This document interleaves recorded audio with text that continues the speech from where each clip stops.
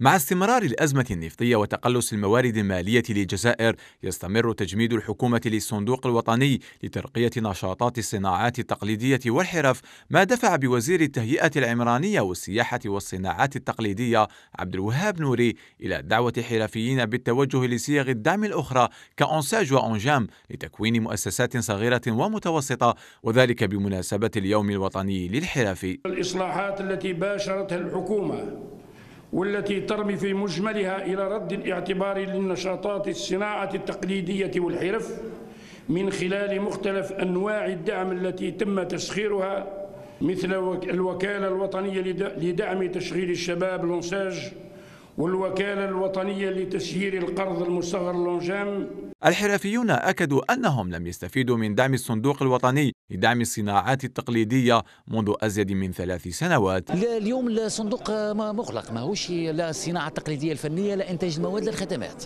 الآن راه في حالة انسداد. يعني ما راه صندوق ربما فيما يخص سياسة التقشف ونشوف راها مغلقة على مستوى ولاية أم بواقي كاين الكثير اللي استفاد منه وكان بعث لبعض الحرفيين وحتى المبتدئين.